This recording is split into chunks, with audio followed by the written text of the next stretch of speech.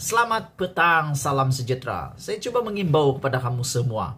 Sewaktu sekolah dulu, waktu sekolah menengahkah, sekolah rendahkah, ada beberapa perkara sahaja yang boleh menyebabkan kita bertumbuh dengan rekan-rekan, bergaduh dengan rekan-rekan. Perkara yang pertama yang mungkin boleh membuatkan kita bergaduh, bertumbuh di sekolah adalah karena mungkin perselisihan faham. Ungkit mengungkit, anjang menganjang. Tapi ada satu perkara yang biasa. Budak-budak lelaki tidak sok tidak tidak pedulilah di sekolah kah di di kampung kah di jalan raya kah di mana kah. Apabila nama bapaknya disebut-sebut dipanggil-panggil dipermain-mainkan.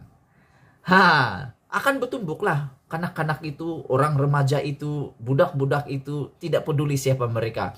Dia tidak peduli besar atau tidak orang itu dia akan bertumbuk asal bapak dia yang dipanggil, asal bapak dia dipermainkan namanya. Terbaru yang menariknya isu politik kita hari ini adalah apabila Zahid Hamidi benar-benar marah.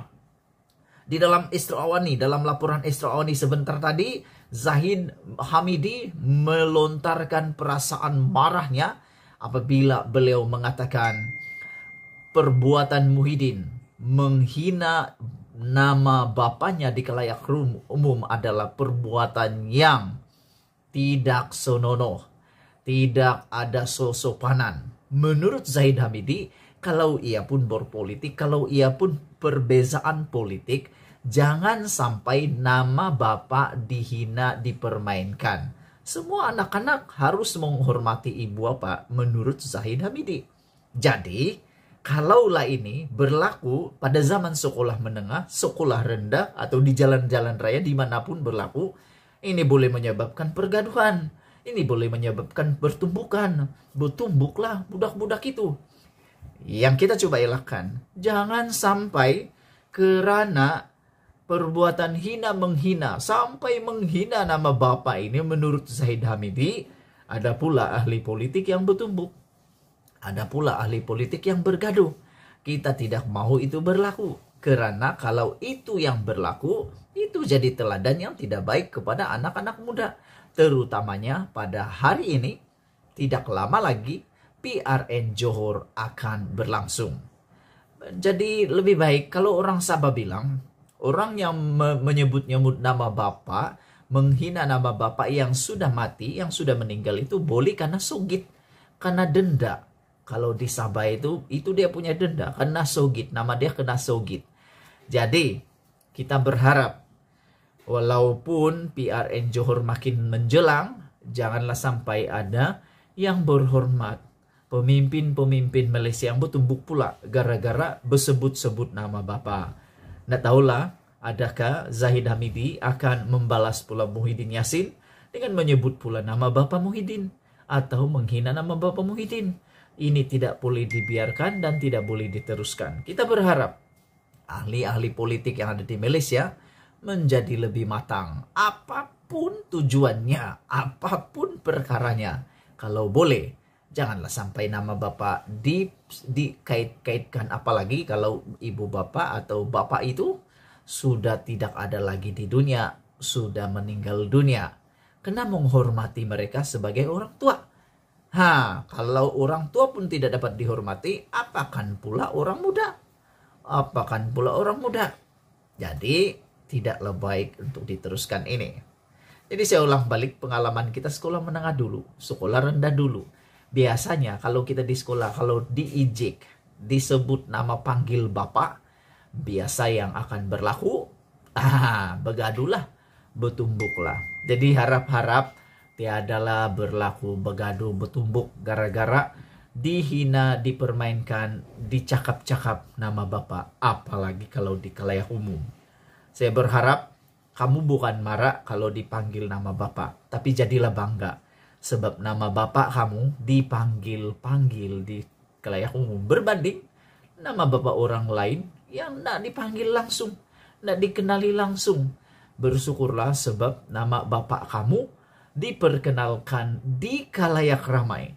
Pandang positif, pandang positif pada apa yang berlaku, jangan pandang negatif saja. Saya selalu memikirkan Kalau nama bapak saya dipanggil, syukur sebab telah diperkenalkan tanpa saya meminta-minta. Itu saja daripada saya. Malaysia kita punya. Sila tinggalkan komen Anda untuk isu yang paling hangat pada petang ini. Jangan bergaduh, jangan bertumbuk. Anda jadi perhatian seluruh rakyat Malaysia. Kita jumpa lagi.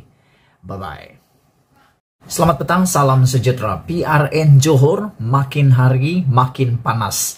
Yang terkini adalah Zahid Hamidi menyatakan kecewa, rasa kecewa kerana nama ayahnya dihina, dipermainkan Muhyiddin. Perkara ini menurut Zahid Hamidi adalah satu perbuatan tidak matang. Menurut, menurut Zahid Hamidi, perbuatan ini adalah politik tidak matang. Beliau mengatakan bahwa menghina nama keluarga adalah sesuatu perbuatan yang tidak boleh di permainkan. Beliau berkata berpolitik tidak perlu sampai tahap mempermain atau menghina nama keluarga. Sebagai anak bekas Presiden UMNO itu berkata, beliau amat sedih kerana nama ayahnya dipermainkan dan dihina dengan sebegitu rupa oleh bekas Perdana Menteri di kalayak ramai.